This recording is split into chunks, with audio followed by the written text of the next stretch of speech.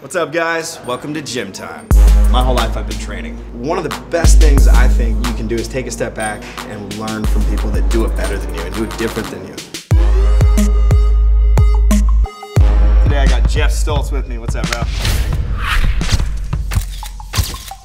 I have a tore ACL. Doesn't stop us. We're gonna get it in. I've got age.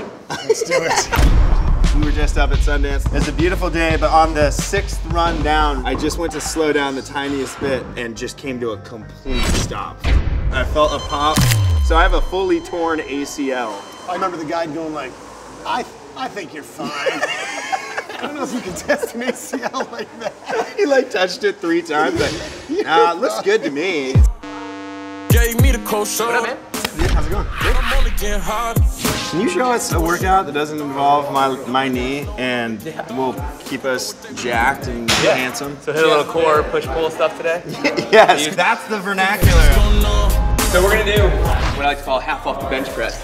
Okay. So get down on the bench and then you're gonna slide and your head's halfway off. I'm gonna load up the arm that's off the bench and what you're gonna do is bring both arms up and then go down and up. I mean, I've done a lot of one-arm stuff, but I've never gotten slid off the bench like that before. It really could, it feels like it's ripping on your side. Yeah, yeah, and so it turns into a whole body movement. The elbow's gonna roll forward. So it really stabilizes your shoulder and you're not gonna let your hips twist at all as you row this up.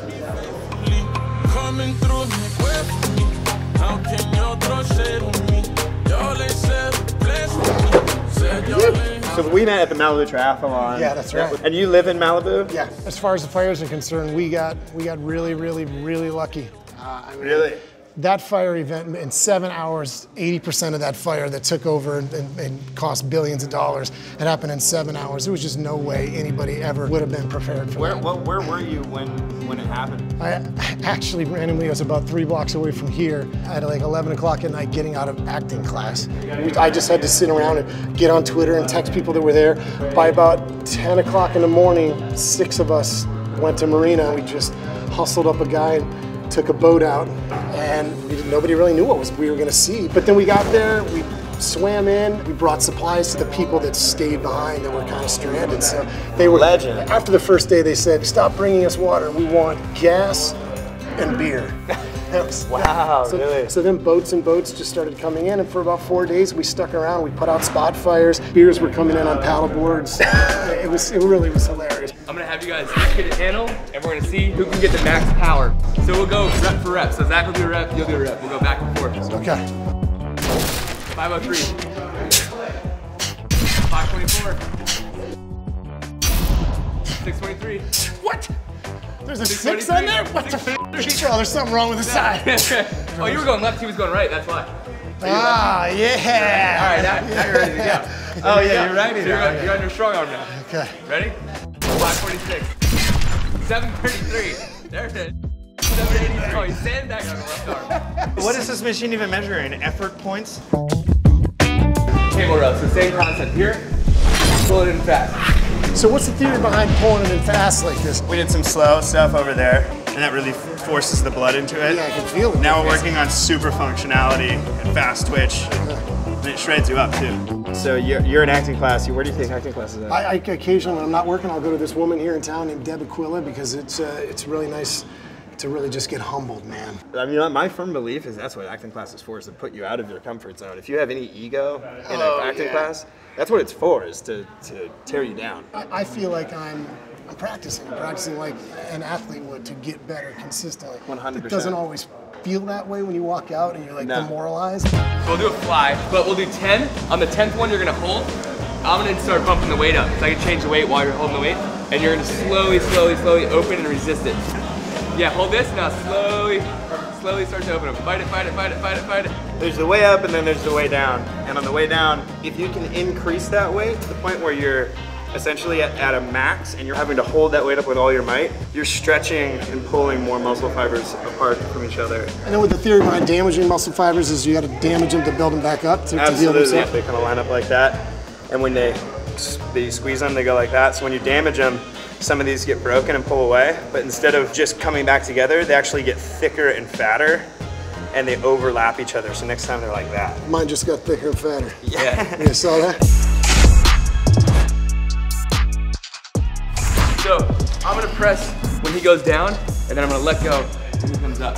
More weight on the eccentric part of the movement. It's just more stress on the muscle fibers. And use your stabilizers, and you'll feel the difference. What, what are you up to right now in life? You know what? There's a new thing that I just learned about this week. I didn't even know you could do this.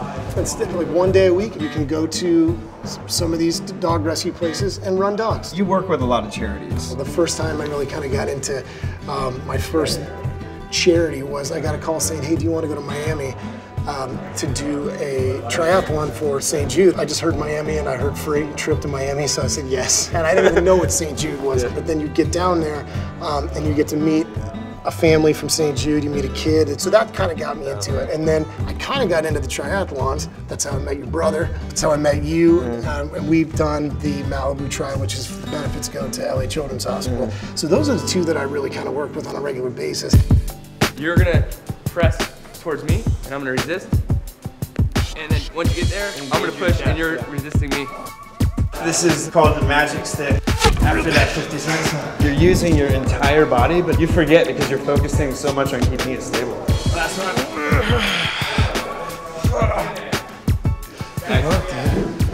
Now we're doing a total chest burnout. Yeah, we're gonna burn the chest out. We've hit like all the main strength stuff that we wanted to do, so now we're just gonna gas it out. What I like to do with the chest fly is when I get to the bottom of it, you're gonna bring them in, squeeze the weight together, and press it up. So do 10 of these right into the small crunches for 10.